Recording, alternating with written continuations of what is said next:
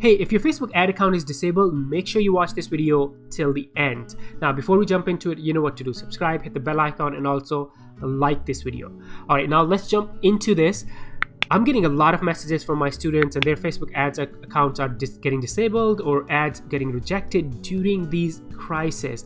But guess what? I'm going to share with you a couple of different ways that I have used to get my Facebook ad account back when it was rejected or disabled from Facebook. Now, before we jump into the actual steps, I want to show you guys something. I don't know if you saw this news uh, recently. So, Facebook is telling us that delays are expected when we submit the ad. So, when we create new ads, do expect that there's going to be delays and because of the global impact and all this crisis that's going on in the world right now so here's why i'm pointing this out what this tells me is there are a lot of changes being done at like Facebook.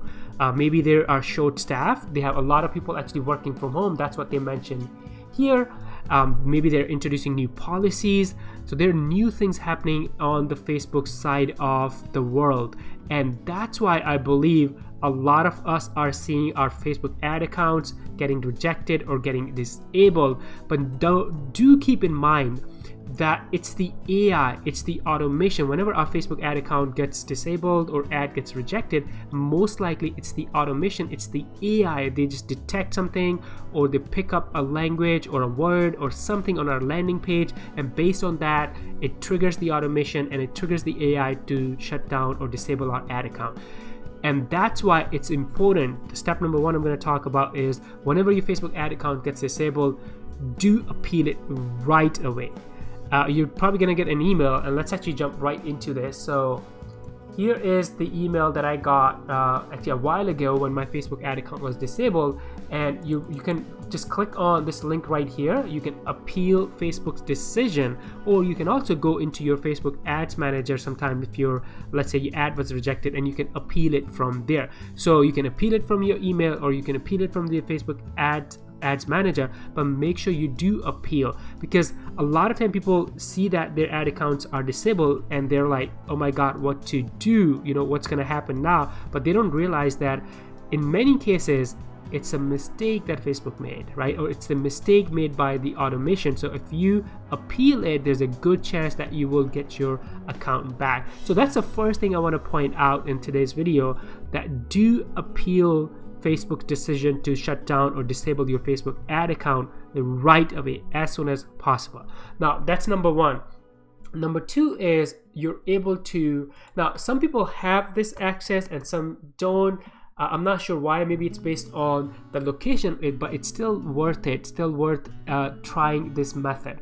And what this method is, sometimes you're able to. I've created uh, some videos in the past uh, uh, on this method on my channel, but I'll just kind of give you a quick demo right now. So you can go to this URL right here. So business.facebook.com slash help So when you do that, and then you're gonna scroll down and look at this. So Facebook is actually telling us they're updating Help Center. So there are things going on, there are changes going on, and they because of this uh, uh, crisis, uh, they're probably introducing new policies and they're updating their algorithms and their AI, the AI that makes sure the ads are the right ads get approved and the wrong ad gets disabled. So you know maybe there are you know there's a lot of testing going on. So that's very possible. All right, back to this uh, business.facebook.com backslash help. So if you scroll down, you're gonna see this section right here, visit business help center.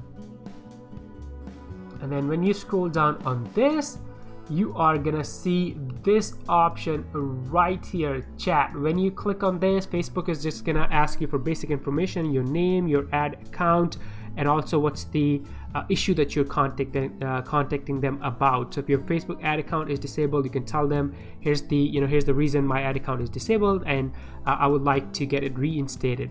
So that's the method number two. The first one was through your email or your ads manager appeal their decision. And the second method is go to business.facebook.com slash help and go down right here scroll down and look for this option called chat. Now i do i got a lot of feedback on this and many people do not have this option. And honestly i don't know why. Maybe i live in the united states.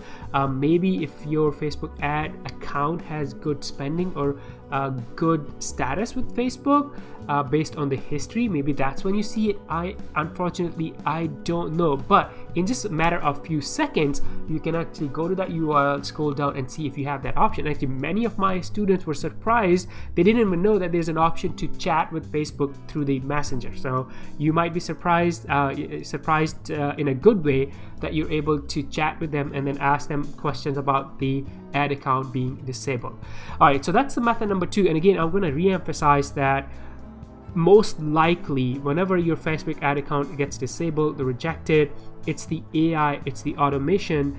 But when you get in touch with them via this method or by appealing then you get a human to review it. And in many cases you'll get it back. You if you especially if you have not made any mistake on purpose uh, and if you have not any broken any rules consistently you are able to get your account back. Now there's one other thing i want to point out both Facebook and Instagram have recently released a lot of new features and updates and resources to help businesses navigate through these times. So, what I want to show you right here is uh, here's the URL. I can uh, leave this URL in the description below. But basically, Facebook created this resource for us to adjust your strategy during this disruption.